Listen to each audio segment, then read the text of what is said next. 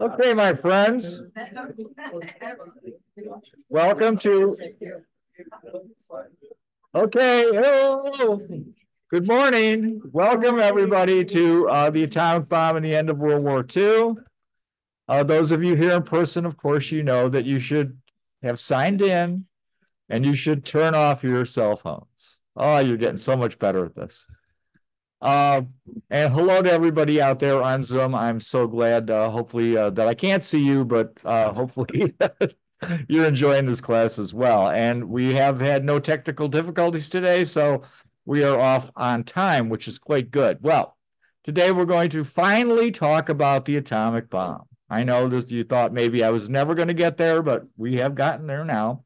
And so we're going to talk about the atomic bomb we're going to talk about the making of the bomb, not the use of the bomb. And we're also, as promised when I started this class, we will talk about the movie Oppenheimer. Well, a couple of disclaimers. The first disclaimer is I'm not a scientist. the second disclaimer is I'm not a mathematician. I'm not a chemist, and I'm certainly not a physicist. But I'm going to do my best to make sure that you can understand how the bomb is made and how it works. And that's the first piece. The other thing that people that know me realizes I am fascinated with how technology has changed the world so quickly. Uh, when we look at the world in 1760 before the first industrial revolution, to today, now that we are if had the second industrial revolution, of course, what we call today the information age, the could be the third industrial revolution, you want to call it that. That fascinates me. And I'll give you an example, a military example of how this technology has gone so quickly. In 1926, Robert Goddard will create the first rocket engine, liquid fueled rocket engine. 26. 18 years later, the Germans are using intermediate range ballistic missiles, the V 2, to bombard London and, of course, Antwerp. And then in 1969, using that exact same technology, we are able to put a man on the moon. So we see how quickly science and engineering mixed together will create the world that we live in and how fast this is accelerating. Well, the atom is quite similar in that regard. And this is a simple atom. This is probably the atom we first saw when we were perhaps in grade school. And it only consists of three parts. It's a proton, a neutron, and a nucleus. Uh, of course, we know today that there are vastly more subatomic particles, mesons, neutrinos, anti antineutrinos, etc. So, very simple atom. But the idea of the atom dates back to, I believe, the ancient Greeks. The, they, that the thought process was there that this existed, but nobody knows what it is. And how do you figure out what it is? Well, it, it's surprisingly not that long ago when we started to figure out what was going on with this thing that we take for granted. And the first one, uh, really in 1904, when we start to get better models of, of atoms, and the electron has been discovered. And the electron is known to be a negative particle. Well, how do you have this negative particle when we know that the atom itself is neutral? Well, there's going to have to be a force that counteracts that negativity with a positive charge. And so we see here in this picture what is referred to as the J.J. Thomson atom of 1904 as the electrons are floating in a cloud of positive energy. That's the plus sign there. And so they're in this cloud of positive energy. And people describe this as the plum pudding atom. The reason it's the plum pudding atom because the electrons floating in this cloud remind people of plums floating in plum pudding. So that's where we get this first idea of an atom as late as 1904. Well, Then we get the Rutherford atom of 1911. And uh, some of you may know that Rutherford is considered to be the father of modern physics. Uh, he's uh, quite a great individual. I, I, recommend, if you're interested in this topic, look up him. He's, he's kind of a pretty amazing guy. But he says, well, you know, we need to come up with some ideas of what's what an atom actually is. And he comes up with a very famous experiment. He's going to shoot alpha particles through a thin foil of gold. And he's that is then going to go into what's known as a cloud chamber. So basically, there's a glass globe that's filled with humidity, so it's a fog. And then you can see what's going on with these particles once they enter that fog. Now, at this time in 1911, the way people actually do that is they stare at this globe and they physically count move by move through that through that globe. And you can only do this for about 20 minutes before your eyes go blurry and then you have to have somebody take your place. But that's how basically i wouldn't say primitive but how simplistic these these experiments are. Well what happens and it's amazing to them is if the thomson atom was accurate then the alpha particles would just go straight through but some of these alpha particles are deflecting. And this is a very strange thing. Why would they be deflecting? And Rutherford describes it as if, well, if I took a cannon and I fired it at a piece of tissue paper, the vast majority of the shells would go right through, but occasionally one of these shells actually bounces back. So, how could that be? And what they realize is that there must be a thing called a nucleus. So the nucleus has got to be inside that atom. And then with the mathematics from that little cloud chamber, they realize that the nucleus is incredibly small inside that atom, very small. Basically, uh, a hundred thousand times smaller, the equivalent of a simple atom, one grain of sand in the middle of a football field. Now, some atoms are bigger particularly uranium.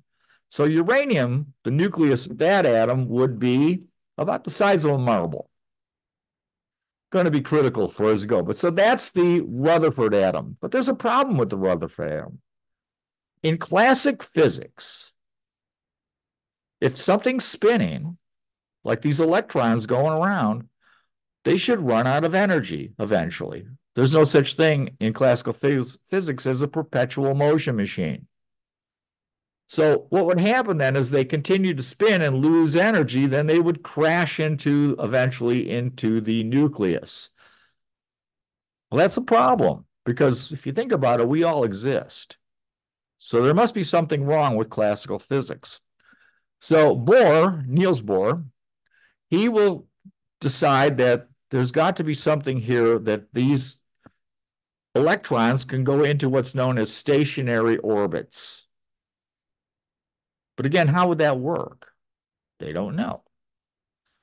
There's also, he's going to use Planck's quantum theory of radiation. Planck, previous to this, has already seen that there are issues with classic Newtonian physics.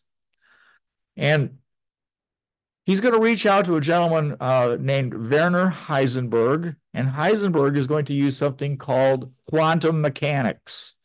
In other words, we're going to look at physics in a statistical manner. Again, this there must be atoms must work because we exist. If that didn't work, then we wouldn't exist. So statistically, they're going to begin to analyze how the atom actually functions. And this is quantum mechanics. I always find it interesting that Albert Einstein doesn't really like quantum mechanics.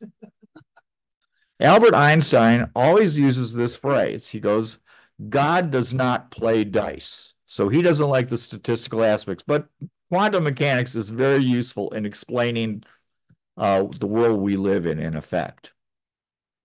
Well, now we need to find another particle, and that's going to be the neutron. And again, nobody knows that neutrons exist, 1932.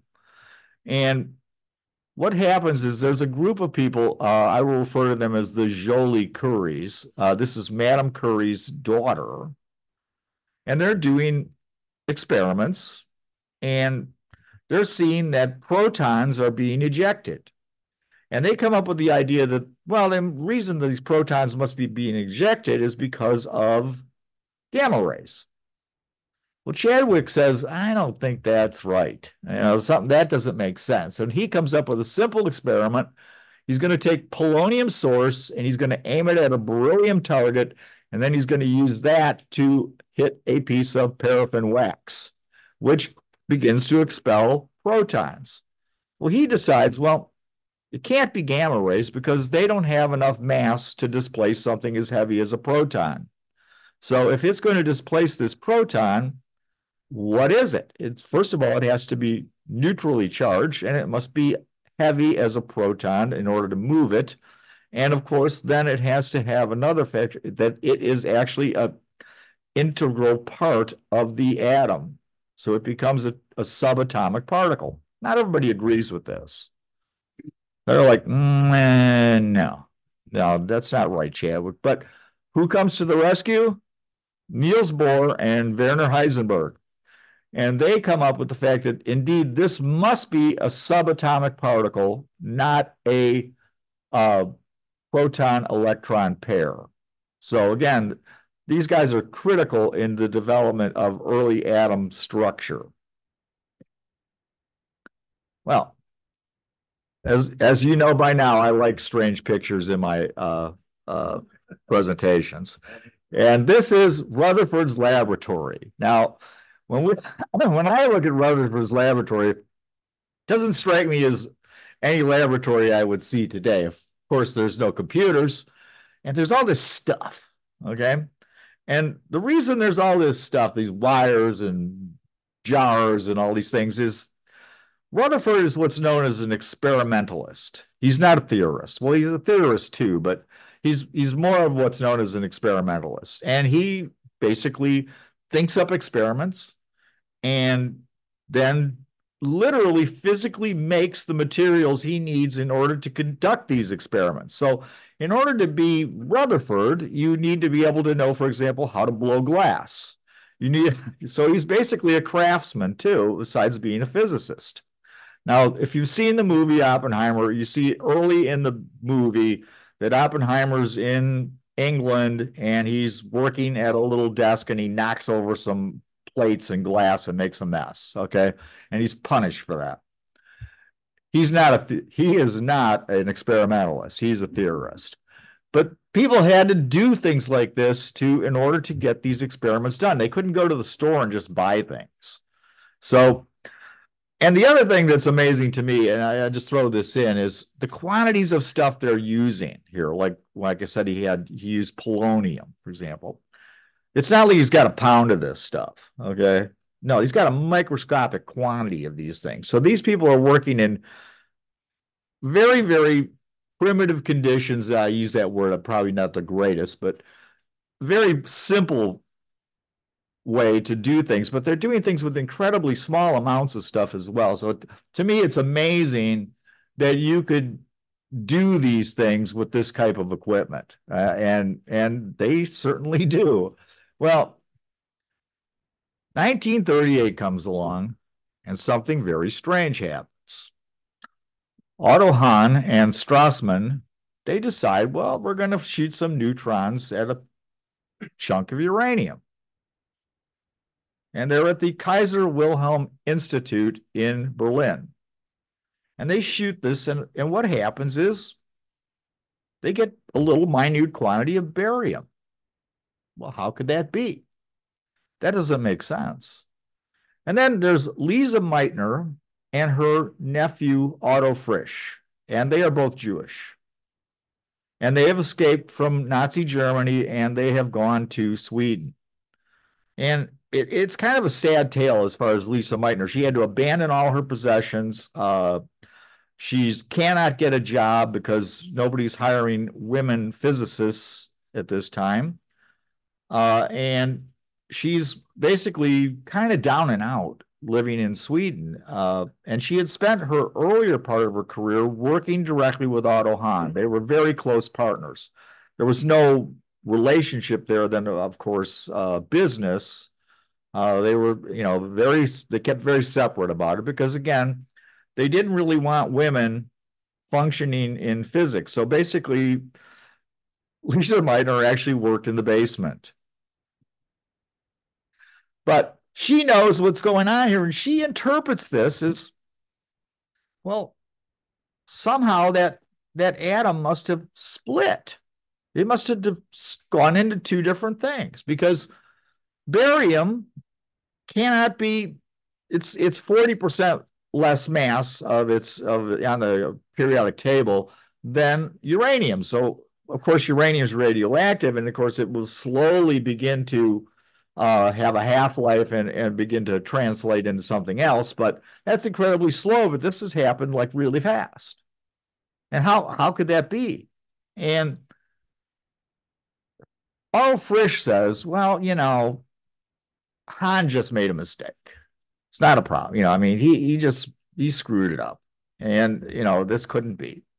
And she said, No, I worked with Hahn for years, and he's way too good of a chemist to have made that type of a mistake. And so they decide that something must have happened to split that atom of uranium. And the way that really works is how they could they begin to think how this could be. And the idea is they see it as a as a big wad. They remember the uranium nucleus is the largest of any thing on the periodic table. It's the largest naturally occurring element in nature. And because it's so big and so it's perhaps kind of wobbly. And they think about it like a drop of water. Well, a drop of water, though, it doesn't separate because of surface tension. Well, it's known at this time that electrical charge can overcome surface tension. And because that nucleus of that uranium atom is so large, it has more electrical power. It also has the it's it's also unstable. It's radioactive. And they find out that perhaps this is a way that they can counteract that surface tension with and it'll actually accept a neutron. And when it accepts a neutron, that becomes so unstable that at that point it will divide. Well, that's a problem too, because well, if it divides, what's going to happen with it, which we'll see. But they they have to come up with a term for this because the term hasn't been invented. And Frisch goes, well, it's kind of like a single cell animal. When it divides, it fissions. And so Frisch is actually the man who coins the term nuclear fission because of the idea that this is an unstable drop of water. Well, there's also a gentleman, uh, a Hungarian. There's a lot of Hungarians, by the way. They call them the men from Mars. And uh, his name is Leo Szilard. And he also appears in the movie as well. And he's residing in the United States. And he starts thinking about this, going, well, maybe if these if you have this fission of uranium, perhaps it will send out more than one neutron, and those neutrons will then hit another uranium uh, nucleus and split again. And this could become a chain reaction. And so if you can get greater than one neutron splitting, then this is a possibility that indeed you will get nuclear fission and a, a sustained reaction. So that would be known as a critical mass. That is the smallest amount that you need to get things to become self-sustaining. Look at it that way. And so they really work on this, and he decides that, you know, and he's actually thought about this before, but the idea is, is this could do two things. It's it's going to release a great amount of power because that nucleus is held together. Very, very powerful, what holds that nucleus together. If you can get that nucleus to divide, then it will release immense amount of power. So much so that it's believed at this time that if you could split one atom, it would be enough power would be released to move a grain of sand. Not everybody believes that, but that's the thought process at the time. And so what can you do with this? You could either make electrical power, you could generate heat, or you could perhaps make a bomb. Well, Szilard has been thinking about this for quite some time. And uh, he actually has a patent with the British government in 1934 for using, if you could split a nucleus and using this power perhaps to uh, use to drive a ship or perhaps to do something else with. But he actually has a secret patent dating all the way back to 1934 with this idea. But what happens is, is this is not particularly easy to do. There's a, there's a lot of problems with trying to get this to work. And there's there's probably ought to look at the fact that there's two different types of isotope within uranium. There's more, but there's two major ones. And the two major pieces of uranium are U-235 and U-238. So the difference is three neutrons. They have 92 protons.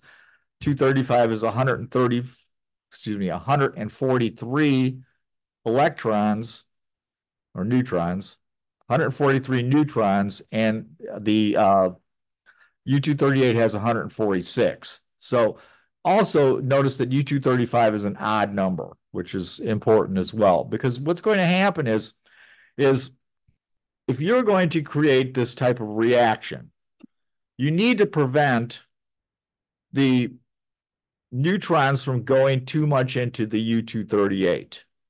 So you need to slow the neutrons down. And the way we can look at that is this. If I've got a, a ball of Play-Doh, big ball, that represents the nucleus of an atom, and I have a little bitty ball of Play-Doh, and I throw that at that ball really fast, what's going to happen most likely is it's going to bounce off. It's not going to stick. Now, if I slow down, it's more likely to attach. When that attaches, of course, that's going to make that nucleus unstable most of the time. So the difference is, is 238 will not accept slow neutrons as easily as, as U-235.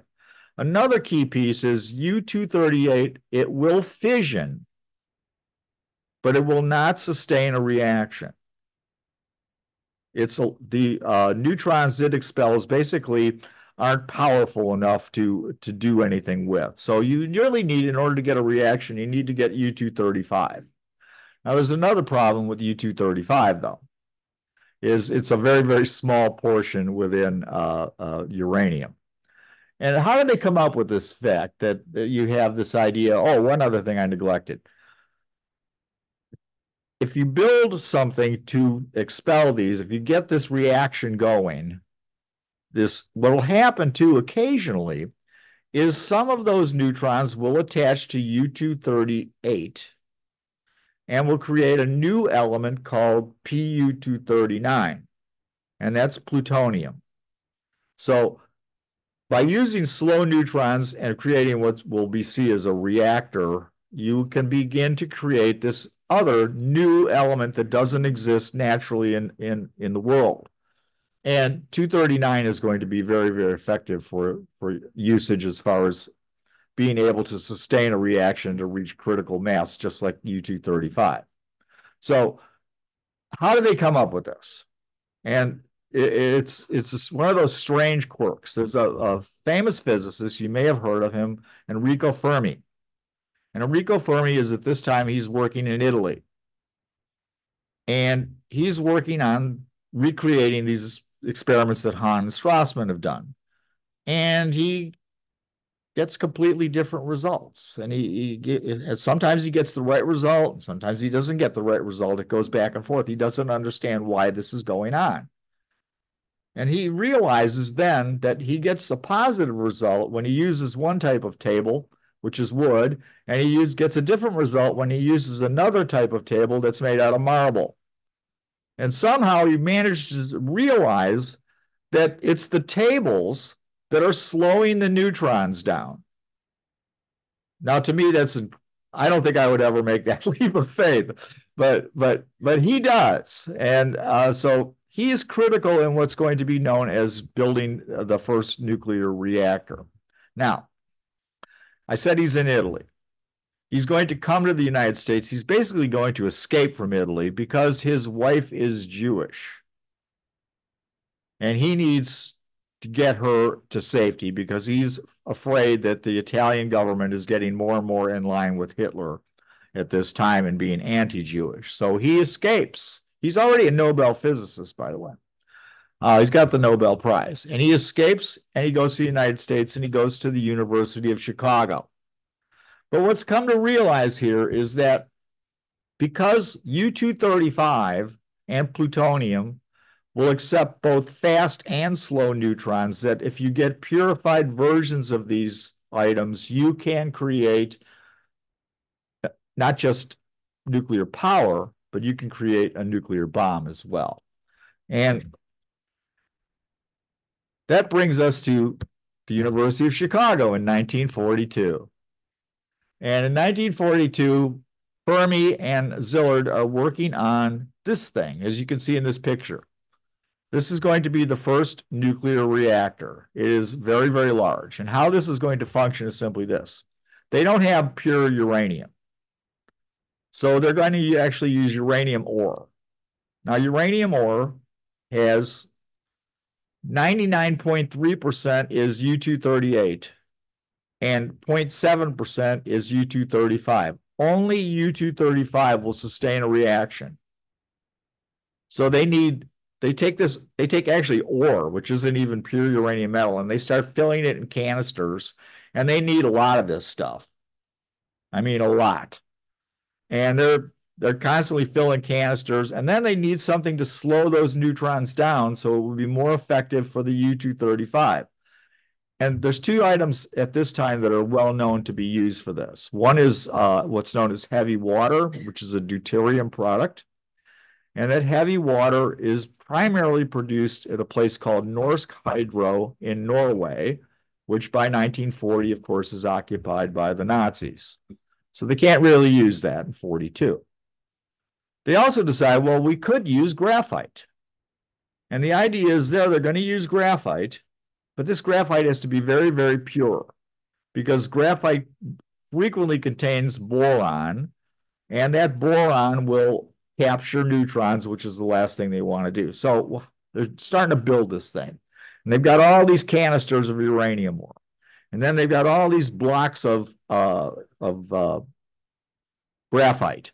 And they have rods they put in. Now, the idea of the rods is that they will absorb neutrons. So you put the rod in, it absorbs neutrons, it keeps this thing from reaching critical mass. You pull the rods out, it begins to reach critical mass. So this is a control system. They call them control rods.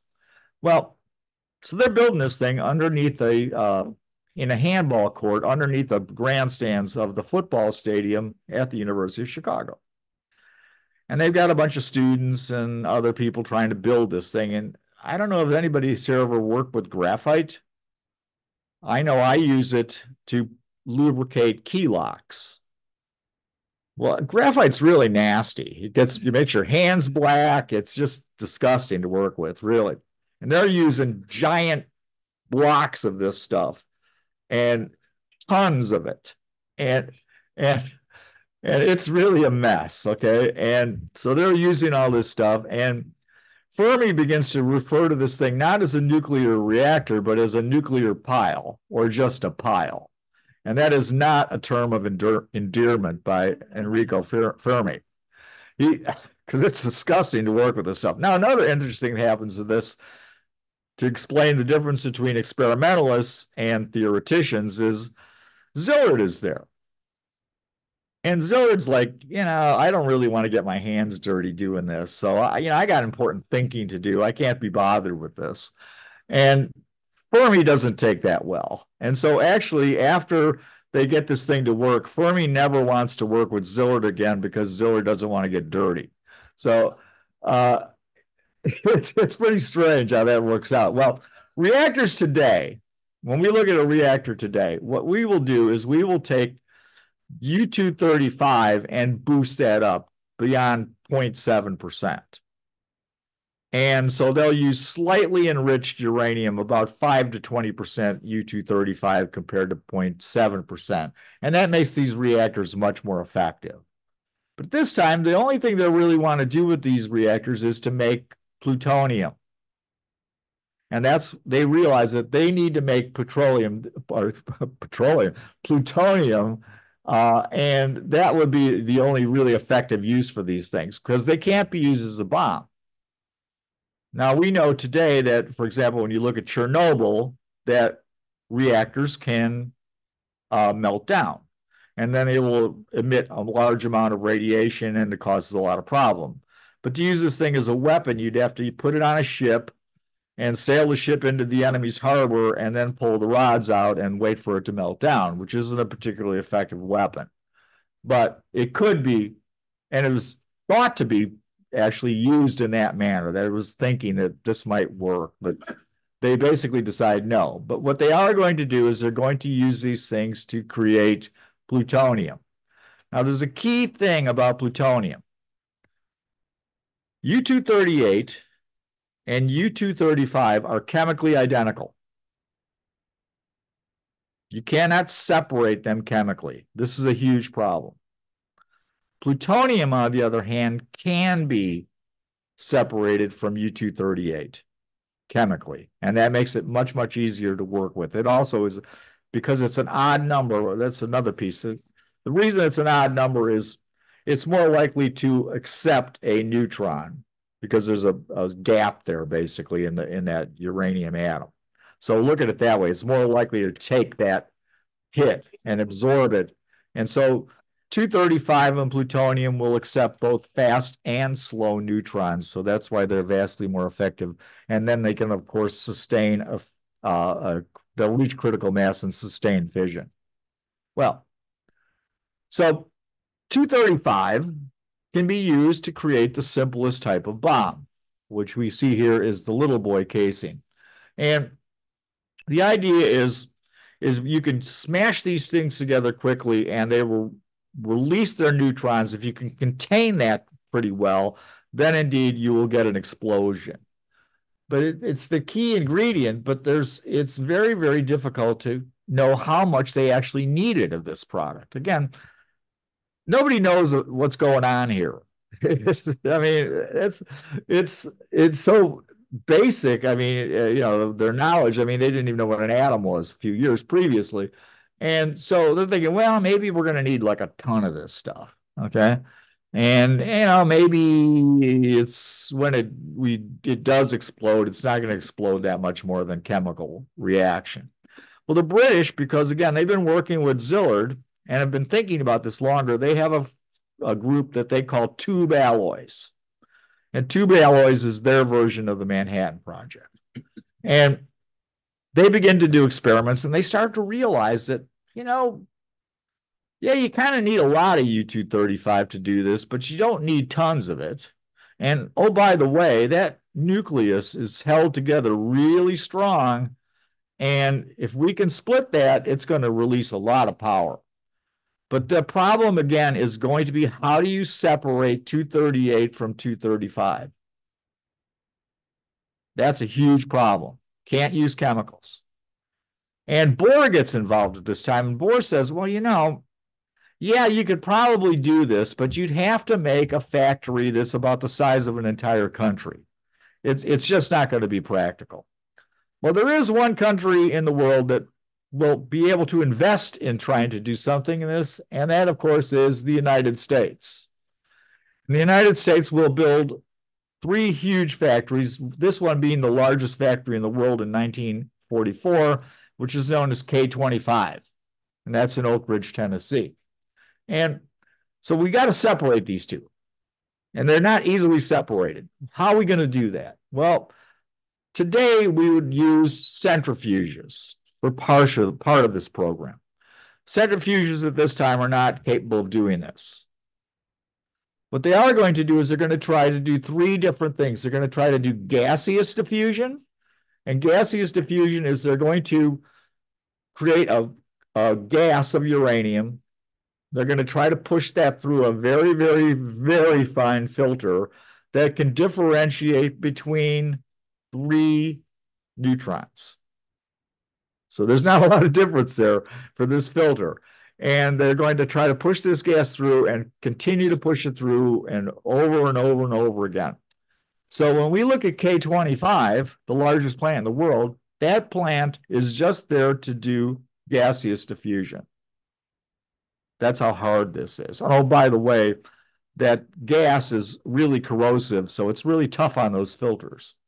So that's a problem. The next idea they're going to try is called liquid thermal diffusion. And liquid thermal diffusion is simply where you have the lighter element, the 235, is going to be more attracted to heat than the heavier element, 238. They're going to try to separate it that way. The third way they're going to try to do this is thing using a thing called a calutron, uh, which is a modification of a cyclotron. Uh, the cyclotron is created by Ernest Lawrence, who's also in the movie. And uh, Lawrence is working on this project and he's trying to figure out how they're going to separate these things. And he's going to try to use a, a calutron, which is basically, and I'll show a picture of this, it's basically a cyclotron that's been uh, modified. And the way a cyclotron works is they use electric electric magnets, electromagnets, to get these atoms spinning as fast as they can. And they need a lot of electromagnets to do this. So they need 6,000 tons of copper in order to make all the windings. Well, copper is very critical for the war effort. So they decide, well, maybe we should use something else. And they decide, well, you know, silver bullion would work. So they go to the reserve, uh, the bullion reserve, and they go to the head of that. And they said, you know, we can't tell you why, but we would like 6,000 tons of silver. And he goes, Young man, we do not issue silver in tons. We only issue silver in troy ounces. So they issue 6,000 tons of silver in troy ounces for the war effort. Of course, after the war, they take all these windings apart and replace them with copper and return the vast majority of that silver, of course, by the troy ounce. So, what is a calutron doing? And we can see a simple idea of what a calutron is. We're spinning those atoms. The heavier, the 238 atom will stay on the outside.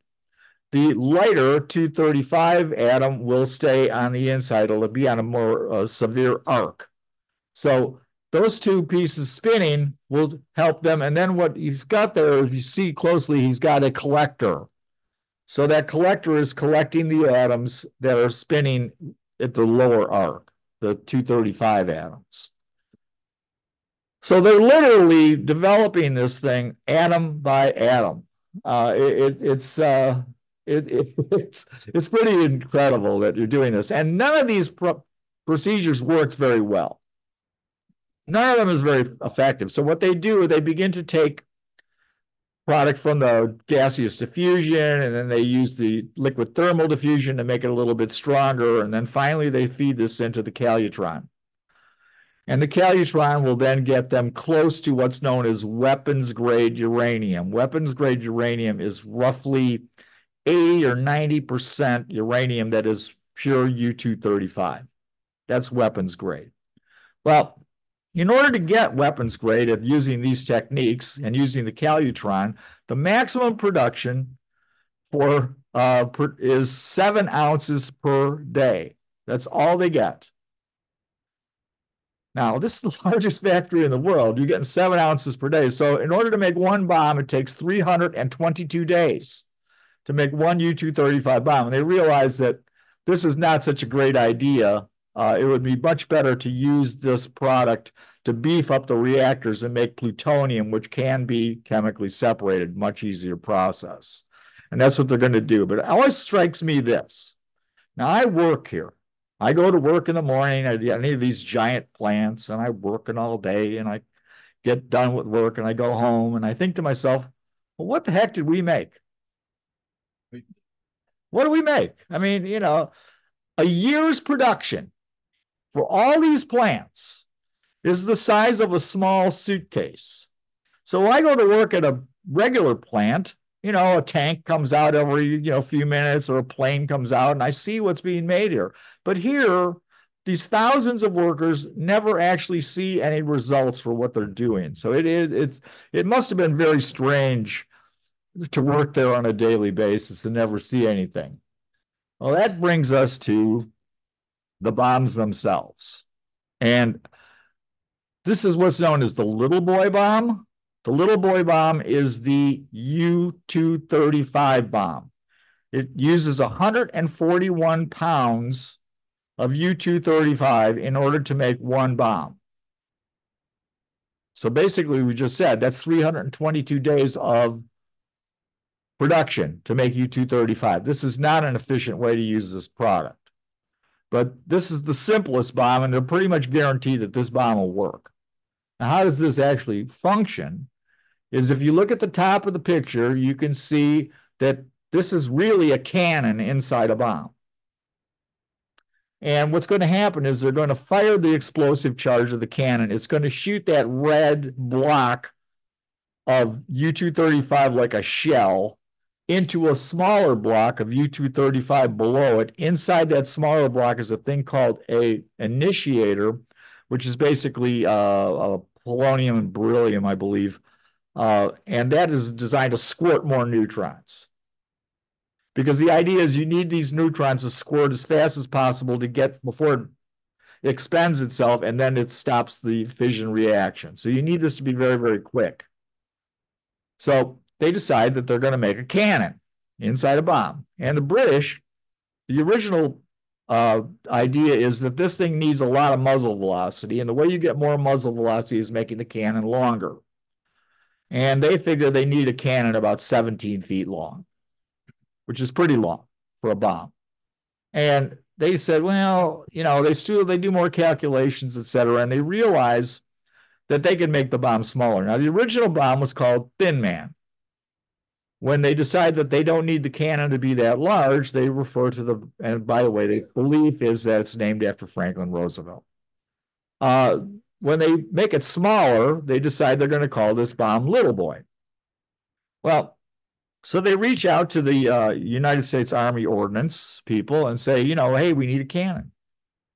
And they're okay, fine. Give us the specs. They give them the specs. Specs come back from the Army and they're man, this cannon is like really heavy. It's way too heavy. What's going on here? We don't need this thing this heavy. So they look at the specifications, and of course, the Army builds cannon that can be used over and over again. This cannon's only going to fire one time because then it's going to vaporize. So they have to then go back to the drawing board and come up with a much lighter cannon that will be fitted into this bomb. So that's the simple bomb. The more difficult bomb is going to be Fat Man because there's a problem.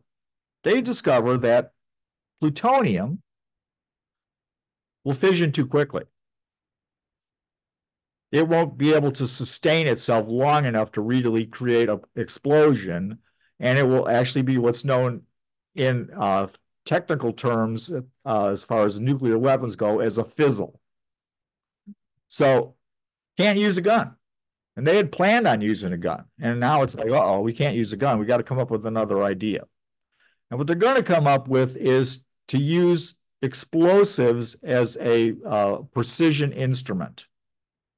So we see a similar idea here. Now, this is different in that it's got a plutonium ball in the middle, and the plutonium ball weighs about 14 pounds. It's about the size of a small orange. And inside that ball is going to be, again, another one of those initiators. Because, again, they need to squeeze out as many neutrons as they possibly can as quick as they can. Because, again, it will disperse. So the idea is they're going to take explosives and use them to squeeze this thing down as fast as they possibly can. And that'll create, of course, a critical mass. And then the critical mass will create an explosion. Well, nobody's ever done this before. This is totally brand new. And what they're going to do is they're going to reach out to a, a gentleman, Chris which you may remember from the movie as well. He's the gentleman that bets Oppenheimer $10 uh, right before the Trinity test. And he's an expert on explosives. And he, for example, works on shaped charges like the US bazooka. And so he's there, and they need people to do these calculations. So Edward Teller, who is also featured in the movie, is asked to do these calculations. And Teller says, No, I don't want to be bothered with this. Uh, this is beneath me. This is for engineers. I want to build the thermonuclear bomb, or as he refers to it as the super. I don't want to be bothered with this. So they reach out to another gentleman to take his place. That gentleman is Klaus Fuchs. And he was a German that has escaped to England. He's part of the English contingent at Los Alamos. And he begins to do these calculations. Well, of course, Klaus Fuchs is Soviet spy.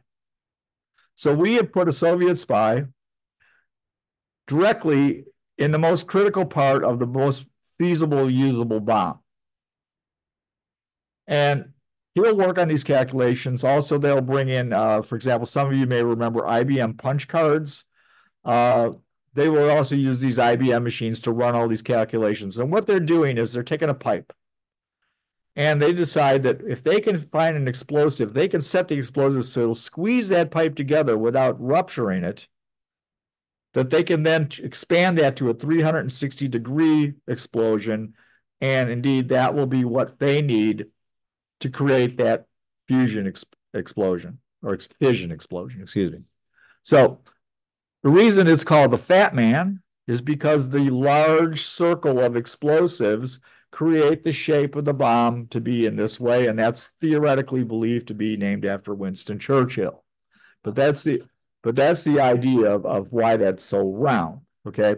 Now, the fission, the 235 bomb using 141 pounds of, of U-235, which is mighty hard to come by, only fissions about two pounds.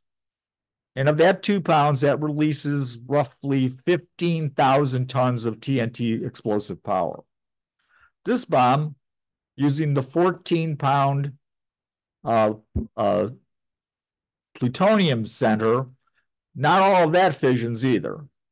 But this bomb will ex uh, explode at about 20,000 tons of explosive. These are very, very primitive weapons by today's standards, but that's basically how they work. Well, how does this all come about? And it's simply this, is that there's a fear that the Germans will be the first to create this type of a weapon. And there are a lot of non-Jewish physicists, top-rated people that are still in Germany.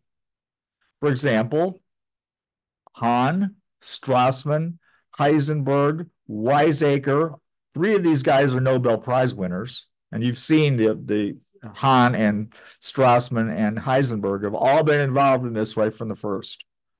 And so it's not that they don't have the brain power uh, in Germany to create this type of weapon. And all these Jewish people, these physicists that have escaped, they are terrified of this. They're like, whoa, man, if the Nazis get the bomb first, this is going to be really bad because they're going to win the war. And Szilard then in early 39 reaches out to other people that aren't in the United States. He reaches out, for example, to Fermi. And he reaches out to the Joliot-Curies and says, please don't publish any more information about this. This needs to be swept under the rug right now because we don't need people building these weapons, particularly the Germans. Well, Fermi agrees to this, and Fermi, of course, is going to escape. The Joliot-Curies are not. And, and the Joliot-Curies are interesting to me that they're always like right on the cusp of, of a great breakthrough, or and they'll just slightly misinterpret the data, or they'll they'll publish their paper a couple weeks behind someone else that publishes the same results. And so they're always just just missing from getting that Nobel Prize that they want. And so they decide, you know what? We're gonna we're gonna publish because they have were the first to publish that when you have fission, that U-235, for example, will emit more than one neutron. They see it as three neutrons. It's probably more like about 2.7. But regardless, they published this in Nature uh, in April of 39. So now certainly the cat's out of the bag as far as the ability to perhaps make this type of weapon. And Szilard then reaches out to Einstein. They're actually friends. And Einstein is in the United States. He's the world's most famous physicist. And he gets Einstein to write a paper to President Roosevelt. And they send this letter, and Roosevelt reads it, and this is kind of interesting. And he says, well, maybe we should look into this. And he sends a group of military folks to go interview some of these uh, physicists, Wigner, uh, Szilard, etc. And they meet and they're having this meeting about and the and the U.S. is gearing up for World War II at this time, so they're not particularly interested in spending this much effort into something like this. This is very speculative at best. So the, military is kind of like, eh, you know, they finally come and say, well, what do you guys, what do you physicists need? What do you think this is going to cost? And I believe it's Wigner that goes, well, you know, we could get started for about six thousand dollars. And they're like, well, okay, $6,000, that's not a problem. We can do that. And so they leave the meeting. And of course, the other physicists there are basically, what are you, idiot? You know, we can't possibly do this for $6,000. What are you talking about? So, to put it simply, the United States effort to build this weapon gets off to a mighty slow start. Okay. And so it, this is 1940. We don't really start doing anything serious until early of 42. And thanks, that's part particularly thanks to uh, the British and their tube alloys program. So we see that that's really how the United States finally gets involved in building this weapon.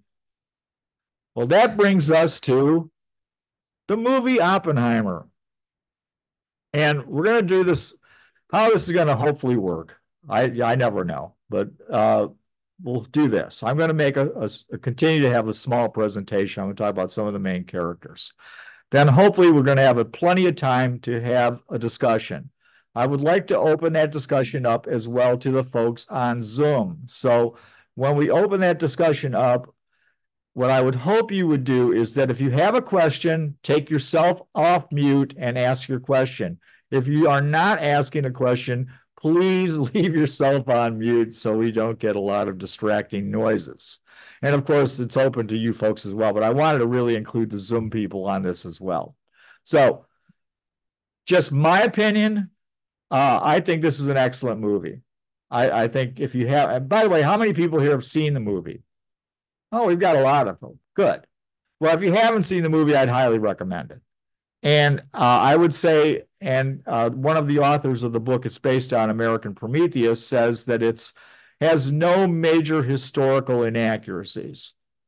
So the so the movie itself is, I think, is very close to as close as you can get in a Hollywood movie to to being a good representation of reality. So with that all said, let us start with this, and let's talk about the main character. The main character is Robert Oppenheimer. Uh, he is uh, born in 1904 to an extremely wealthy Jewish family.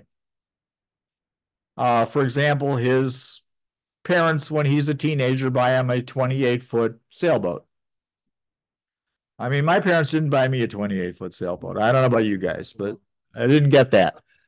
Even after the losing a, a tremendous amount of their total fortune, when his father passes away in 1937, he still leaves Robert and his brother Frank an inheritance of, in today's money, about $8 million. So these people are not hurting. Okay. He does not go to a regular school. He goes to a very, very it's it's it's it's Jewish in a sense, but it, it's it's much more secular and extremely liberal. So he goes to this school, and I think this school really sets him off on a case uh, where he wants to be socially responsible.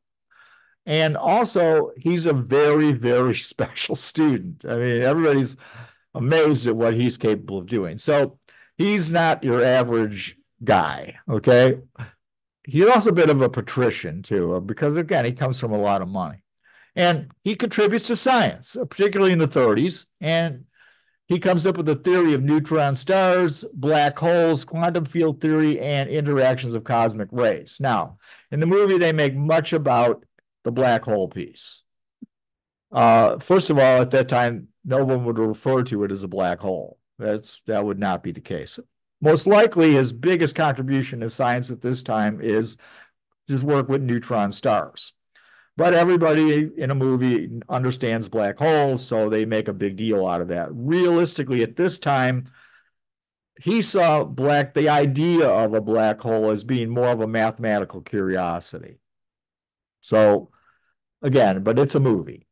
So uh and he he really never completes things. Uh he'll have idea and he'll basically, you know, particularly with the students, he'll pass it on to someone else, and and that person will go on and take that idea and develop it, and then will win a Nobel Prize. He doesn't win a Nobel Prize. Okay, he never because he never really finishes stuff, but he's really good at giving people ideas and then helping them to achieve those ideas. And I think he's partially a, a polymath. In other words, he's good at a lot of things, uh, make it simply, and uses those to create things as well. But again, he never finishes things. So, for example, he's uh, heavily interested in psychiatry. He's heavily interested in Eastern religions. He learns how to read Sanskrit. I mean, he's a genius. There's no question of that. But he never has that focus in order to really make achievements that he would be recognized himself for. And he, I don't believe that he's ever really a communist. Uh, I don't. I he certainly hangs around with communists. His wife's a communist. His brother and his sister-in-law are card-carrying communists. But like I said, he's got this education from this liberal responsibility, and you know he does things that are considered kind of leftist. Okay, you know He's he's in favor of unionization, which at this time and particularly in the McCarthy era is viewed as a front for communism. Uh, he donates to the Spanish Civil War. He uh, also will donate to help Jewish scientists escape from Germany. So he's involved with all these kind of leftist things, and he hangs around with a lot of his friends are communists, and and so he gets tainted by that, I would say. But as far as him being a communist himself, I don't really believe that. I, I really see him more as just an extreme liberal, if that want to use it that way. And must remember this too. It shouldn't be, it's not technically illegal to be a communist. Okay. What is illegal is to be a traitor. So if you support the Soviet Union and you're a spy, that's one thing. To be a member of the Communist Party is actually another. But he's turned off to the Soviets for a few reasons. Uh, one of the big reasons, I think, is the show trials of 37 uh, in the Soviet Union. He's very, very, very unhappy about the Nazi Soviet Pact of 1939. And at that point, I think he's completely turned away from uh, looking at the Soviet Union as being a worker's paradise. So he's he's very turned off by that. And of course, by 42, he has absolutely nothing to do with the Communist Party. Um, but what makes him great is, like I said, I think he can see the potential of certain people. He's able to steer them, to guide them, to give them ideas that they can then use to create great things. And I think that's why he is the key person to lead the scientists at Los Alamos. That brings us to the next person who's critical for us to build this bomb. Bomb would never have been built in time without this gentleman, and that is General Leslie Groves, who's also, of course, in the movie. Uh, he is the son of an army chaplain. He grows up on military bases. He always wants to go to West Point. He manages to get into West Point finally, and he graduates in 1918, right when the war, World War One has ended. He goes on to a really great career as, a, oh, by the way, he's fourth in his class. And uh, because he's so high in his class, people that graduate very high at West Point generally go into the Army Corps of Engineers. That's what he does. So he is an engineer. Uh, he is going to work in uh, various and sundry products in the 20s and early 30s. But when World War II is approaching the United States, we start building all these bases, you know, training bases and factories and all. We're trying to gear up for the war. And the idea of gearing up for the war, this isn't going particularly well. Uh, there's a lot of disorganization and it's, it's getting to be a mess. And he's appointed to basically be a ramrod to get this thing done, to get it organized. And he will make decisions, spur of the moment decisions for millions of dollars, which in today's dollars are billions of dollars. And and he's almost always right. And he he's he he only cares about getting things done. He doesn't care about how many toes he steps on. Uh, all he cares about is things are going to get done. He makes decisions, and he has a uncanny knack of being able to pick the best people for jobs. So he's got a lot of skill sets that are very very useful. And when World War II starts for the United States, he wants to go to Europe uh, to a combat position, and they tell him no. You're not going. Nope. We're going to put you in charge of the Med, which is the Manhattan Engineering District, which is we know today as the Manhattan Project. And he's not happy about that. But he sees this as a way where he can become a way that he will help to win the war. And that will help his career. He is very career oriented. And I, I use this quote uh, from Major General Kenneth D. Nichols. First General Groves is the biggest SOB I have ever worked for. He is most demanding. He is most critical. He's always a driver, never a praiser. He's abrasive, sarcastic. He disregards all normal organizational channels. If I had my to do my part of the atomic bomb project over again and had the privilege of picking my boss, I would pick General Groves. He's a bitch, okay? I mean, to put it bluntly. Okay. Now, you may remember if you saw the movie, General Kenneth D. Nichols. He's that little officer that's got the little round glasses, and he's he's kind of this kind of Weasley character. And he is the guy at the near the end of the movie when they're at the hearing that declares that Oppenheimer is definitely a communist and definitely a Soviet agent. So he is the guy that will get into the record uh, all this negativity about Oppenheimer. So Nichols isn't exactly a nice guy either. Well, that brings us to the villain, Lewis Strauss. And Strauss is an incredibly successful businessman. Uh, yes, indeed, his family does own a wholesale shoe business. He's not a shoe salesman in a shoe store. Okay, just so we know. But uh, he has to leave school to help his family business. He does. He's a successful businessman. By the late 20s, as an investment banker, he has a salary of about a million dollars. So he's he's extremely successful, but never graduates from college.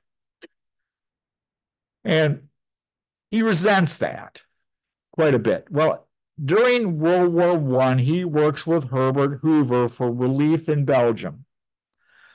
Post World War One, he goes to Poland and he begins to work in Jewish organizations. He's Jewish, he's very religious.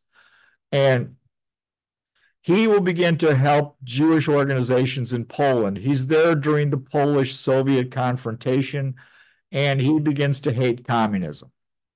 He sees communism as incredibly evil. In 1925 or 26, he joins the Naval Reserves. So he's going to become a reserve officer. And he's people really don't like Strauss particularly, put it bluntly, but he's going to get in World War II, he wants to become an active duty naval officer. And the FBI says, no, no, we can't have that. You're you're too involved with these Jewish organizations. Well, he's pretty rich and he's got a lot of powerful friends, and he gets himself into the military and he he has rapid promotions. One of the things he does is he creates the program, you may be familiar with it, E for Excellence for Work and War Plans. So he has a contribution, uh, but he manages to get himself promoted as a reservist, really, to admiral. And he always wants to be referred to as admiral. Uh, regular Navy people don't think that reservists are admirals. Okay. they, they don't see it that way. They think that he's a civilian and he's putting on a lot of errors by people be demanding that people call him admiral. So he does another thing that's really important though. And he's heavily involved with nuclear aspects. Uh, uh, he, for example, early before the war, has uh, financed uh, experiments for Leo Szilard. He's a part of the Atomic Energy Commission. And he's decides that what they need to do is they need to find a way to use weather reporting B-29s to see if there's radioactivity or nuclear fallout in the atmosphere. And he tries to get this program started. Now, Oppenheimer and the other physicists don't think this is worthwhile. They think this isn't going to work. But he pushes this program through with the uh, Air Force.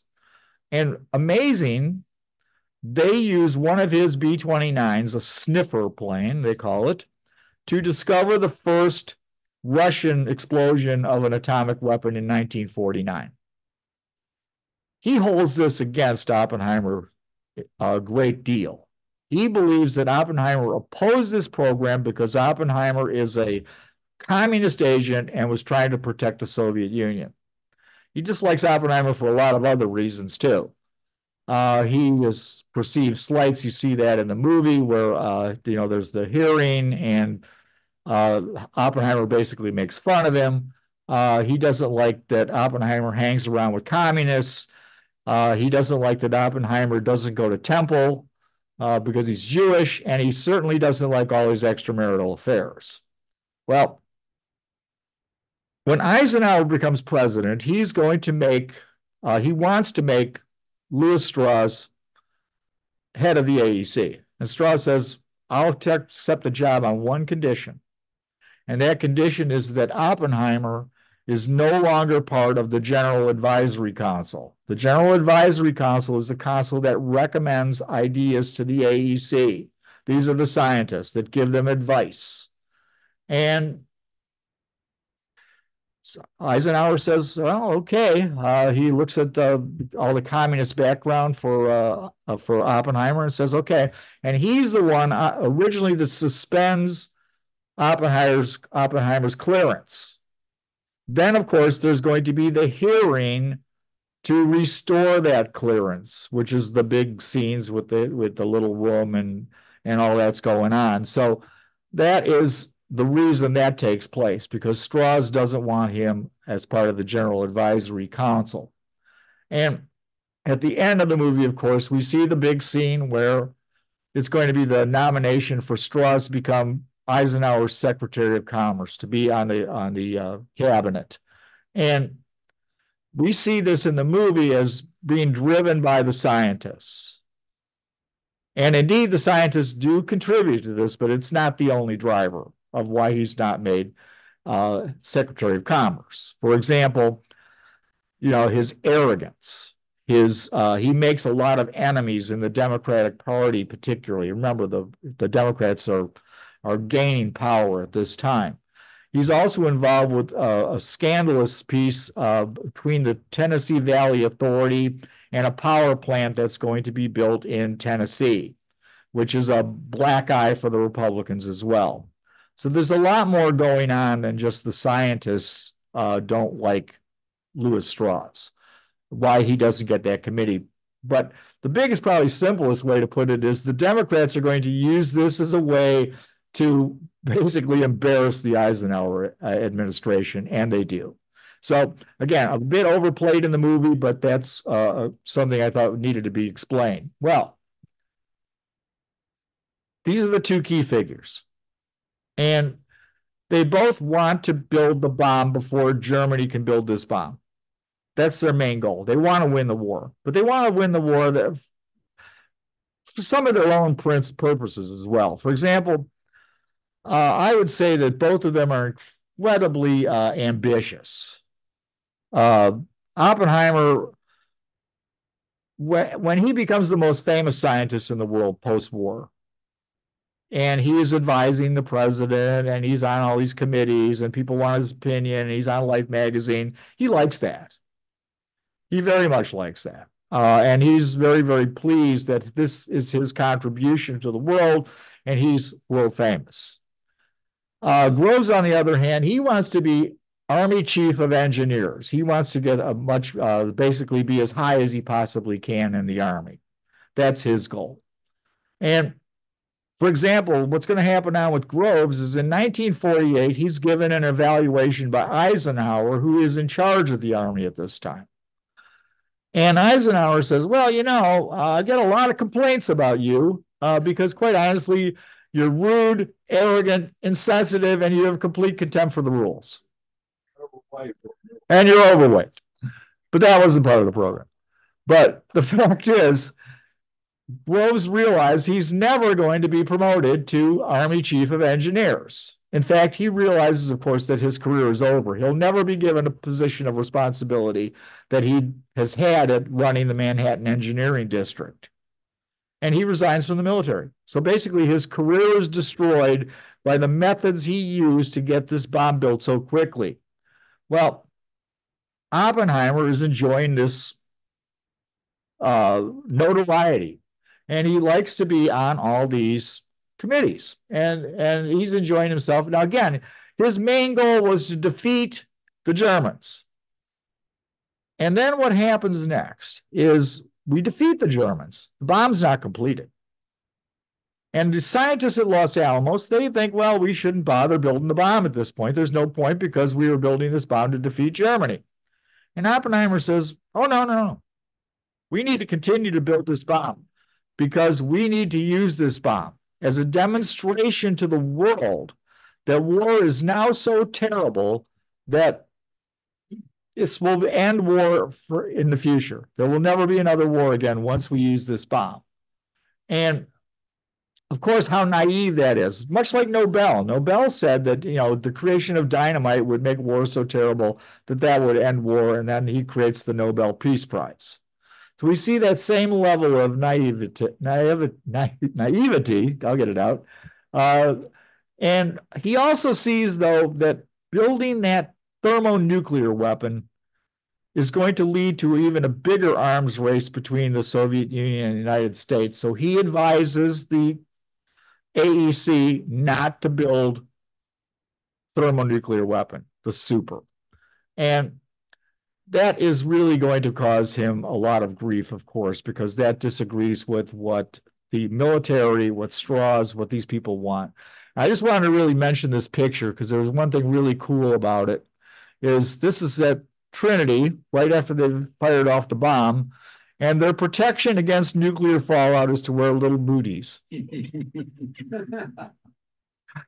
That's going to come up in a later lecture, just so you know. So you may want to remember that, that people don't have a very particularly good idea at this time of fallout and radiation. But uh, it is it is uh, just humorous to me that that's somehow that's helping them.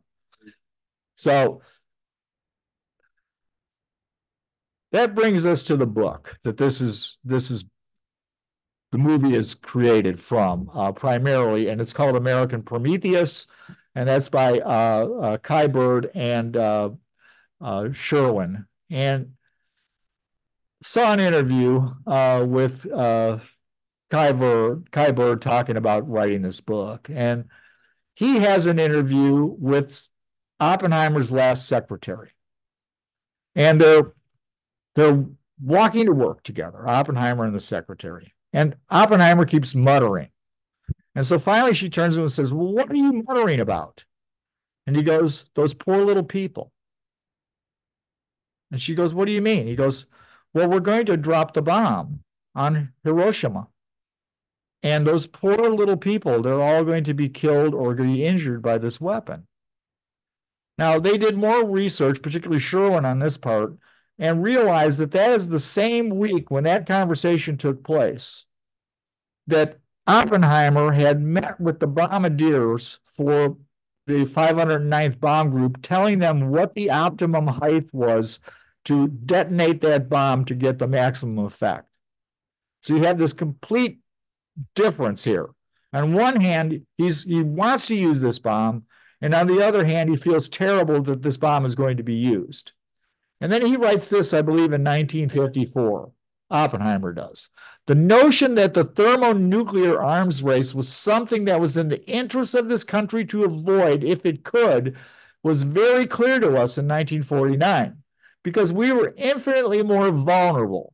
Because more of the US population lives in large cities than does the Soviet population, and infinitely less likely to initiate the use of these weapons.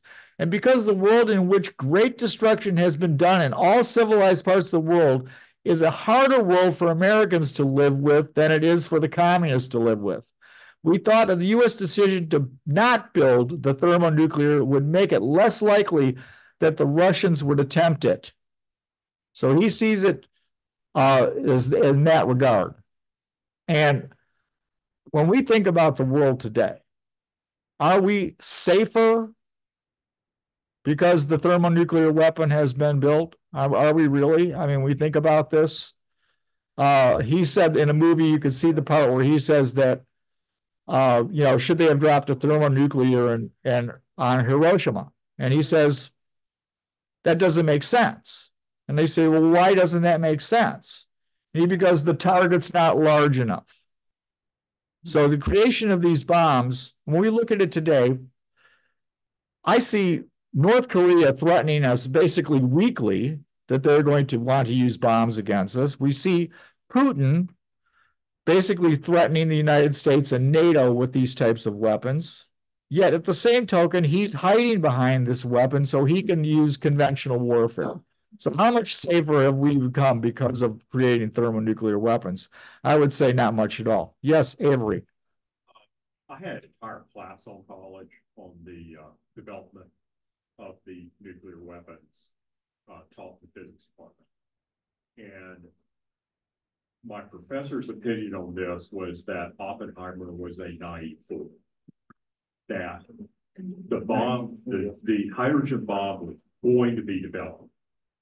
Could have been, yes. No, it was going to be because it was known to be possible by a lot of people. Same as the atomic weapon. Same as the atomic bomb.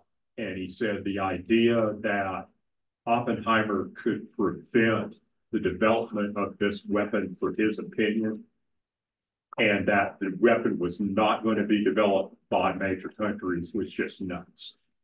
My point would be this. The advantage of using this weapon versus using the fission weapons that we already had is minuscule. There is no real difference there. The weapon is already available. So basically, this was not a useful weapon at all. It, people would describe it, quite honestly, as a weapon of genocide. That the, a, a, quick piece the idea with a thermonuclear bomb is that they can be made as large as you wish to make them. There's no limit to, to theoretically to the size of a, of a, of a thermonuclear bomb you can make. You just give it more fuel, it becomes a bigger bomb. There is one problem with that. And Teller had said this. Uh, Teller had said, well, once you get to 100 megatons, what happens is it blows a hole in the atmosphere, and the bulk of the explosion then goes into outer space. So at 100 megatons, there's no reason to build a bomb any bigger. My point is to this is that there was no reason to build these, regardless if it could be built or not, which it can be built, obviously, that it didn't gain us anything. That the money we spent on this thing was basically did not give us any more security than we would have had otherwise using atomic weapons. That'd be my feelings. Well, now, this comes to Bird and Sherwin have tried for years to get this clearance over over overdone, to get it re reestablished, that they would get Oppenheimer's name cleared and he would have his security clearance back. They realize that's never going to happen because, quite honestly, he's been dead since 1967. And you can't reestablish it at that point. What they could try to do then is, after years of trying to do this, petitioning senators, presidents, et cetera, is they wanted to get it vacated. And they're going to get it vacated by this lady, Senator uh, uh, Jennifer M. Granholm, who is the Secretary of the U.S. Department of Energy. And she is good. What she does is she has an advisor. Uh, his name is Subramanian, I believe. Seen him on a C-SPAN show, and he is a lawyer, and he is going to look into the procedure that went on with this with this piece. And what he's going to come up with is he looks at all the records and sees that the AEC had indeed violated their own rules in order to railroad Oppenheimer. And he, he showed actually a memo that he had found. And remember that in the movie, and truthfully, is that Oppenheimer's lawyer and Oppenheimer didn't have security clearances. So they couldn't see the evidence that was going to be presented to them in advance. So they were constantly using this evidence to basically surprise them. And it says this right in this memo. The element of surprise must be maintained. And what's also interesting in this memo is there's a little written in CC to Lewis Strauss. So Lewis Strauss knew this was going on the whole time. And indeed is probably the orchestrated it. Again, nobody can be sure did he give the FBI information, et cetera. But that's it's pretty much clear that the AEC violated its own rules. And then Bird writes this in an article in the New Yorker of July 2023. In 1954, America's most celebrated scientist was falsely accused and publicly, publicly humiliated, sending a warning to all scientists not to engage in the political arena as public intellectuals. This was the real tragedy of the Oppenheimer case. What happened to him damaged our ability as a society to debate honestly about scientific theory. The very foundation of our modern world, Granholm's courageous decision has reaffirmed not only that the federal government is capable of correcting its mistakes, but that the government employees, regardless of their stature, can express opinions that challenge the conventional wisdom without fear that they will be falsely branded as disloyal. Realize that Granholm is in charge of Los Alamos. She's in charge of almost all of the major national laboratories. So we now see that she has made a statement to the people at these laboratories that if you make an opinion if we ask your opinion, like the General Advisory Council, and we don't like your opinion, we're not going to punish for you for that in the future. And this basically liberates, in my opinion, uh, scientists today. Now, I have eight minutes. Pretty fast. And so I'm going to open this up first. If we have anybody on Zoom that has a question. Maybe not. Well, Yes, I do. And from Huntsville, yes, the difference between Trinity site at White Sands, New Mexico, and Trinity site Los Alamos. Because I grew up in El Paso and we always heard about Trinity at White Sands. well, uh, I would say that the Trinity site at White Sands, uh, I'm not actually familiar with. Uh, the I, I believe the Trinity site at this point was actually in Alamogordo. Oh, okay. Well, well, White Sands is about seven miles from Alamogordo. Holloman Air Force Base has an Alamogordo address. Okay, that's what I need to know. Thank you for your answer. No problem. Thank you. Oh, I don't remember anything called the Trinity site there. Well, the Trinity site, yeah, the Trinity site is, is actually not in Los Alamos directly. It's nearby. I think what it's like 75 miles or something. It's considerably south and east of it. Right. We're Alamo. Yeah, it's I think about 75 miles as I remember it. But uh sure, go ahead, Bill, first. Who appointed uh, Secretary Granholm and what were her years of service? She's current, Well, she's there, oh, this all happened that recent. 2022. I just figured he wrote that article. after the fact. Yeah. Right, yeah, she, she, uh, before the movie came out in twenty twenty-two, uh, she had, uh, created, uh, she had basically vacated their findings. Yes, sir. uh, after, well, I was in college with a former, uh, soldier, army. And we didn't, that picture of where they showed him wearing a white boots or whatever to protect them. Yes, And he was involved, what the army did was to, uh, dig trenches around the test site. And put soldiers in the trenches, and he was one of the soldiers that was in the trenches, and they wanted to see what would be the effect. Of the blast going over them in the trenches. right, that was, uh, for, uh, tactical weapons that we had developed. Uh, by the way, uh, Oppenheimer was actually in favor of creating tactical nuclear weapons, which I think is interesting as well. Uh, he didn't want to build the super, of course, but he, he thought that maybe tactical nuclear weapons would be, uh, something worth building. Yes, sir. Uh, going back to the theory and practice of the, uh, how the bomb works, Uh-huh. back in the late fifties, early sixties, there was a show on TV called The Wonderful World of Disney. They, they had a demonstration, they had a, a- a basketball court filled with mouse traps, all loaded with ping pong balls. They threw one ping pong ball out in the middle of it.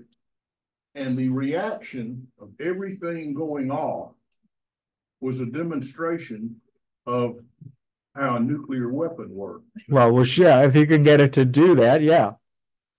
Uh, I mean, think of a, a, a basketball court filled solid with, with ping pong balls sitting on the mousetrap. How many times they have to redo it when somebody stepped on something? Obviously, obviously Disney had a bigger budget than I do. So, uh, any other questions? Yes, Bill.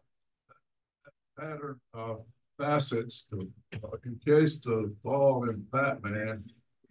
Uh, with those shapes looks very close and not exactly like the pattern Buckminster Fuller used when he designed the, uh, dome. I would assume there would be some sort of mathematical similarity, but I have no idea. I mean, really. Again, I'm not a mathematician or a scientist or a physicist or a chemist. Yes, Charlie. Daniel Ellsberg, in his autobiography Secrets, he argues that uh, the the Vietnam War, and with all due respect to any Vietnam veterans who are here, the Vietnam War was basically a war between nuclear superpowers who could not use their nuclear weapons. So they used Vietnam as sort of a, a proxy, uh, you know, a place where they could carry on war and get their aggression out without, you know, using nuclear weapons.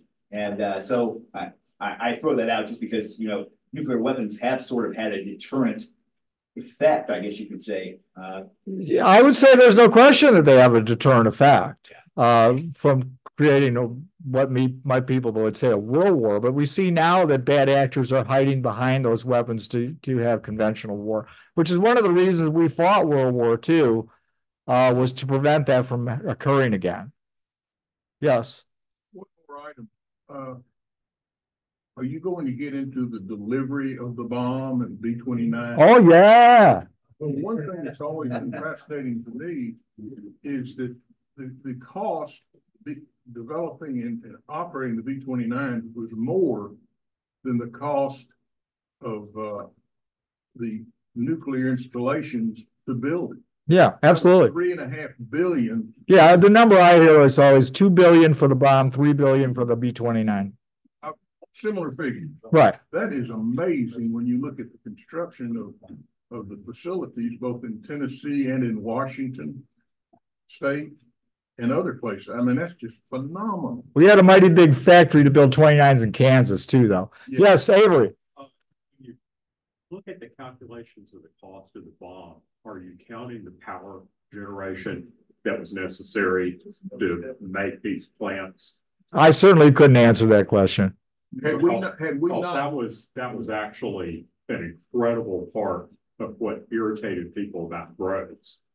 Was that he had to build this monster infrastructure, including all the electricity. The power plants, but to run that place, to- yes. to Do the diffusion to start the uh two thirty-five process. Right, yes. So certainly there was a lot of uh power plants. They built a power plant just for, uh, uh, the, uh, the plants at, no, Well, let- let me point out- Oak Ridge. I get it. I finally spit it out. Thank you. It's my understanding that during the development of Oak Ridge and the operation of Oak Ridge, had we not had the TVA, which had built dams during the Depression, and the dams that were built in the Pacific Northwest, uh, we, we could not have developed, we would not have the electrical power to have developed those. The, to Avery's point, uh, Groves didn't think that was adequate in Tennessee and built another power plant. At one time, approximately, the number I've heard is that ten percent of all the electrical power in the United States was used to develop the uh atomic bomb, and I will check that for next week. Feel free. I, I, I would not be able, to. I don't have that number, so It was an incredible amount. it's an incredible amount. Well, look at six thousand tons of copper, uh, winding was necessary. They used six thousand tons of silver. That's a lot of windings, okay? That's a lot of electricity. Anybody else, anything? Thank you. Thank you, guys.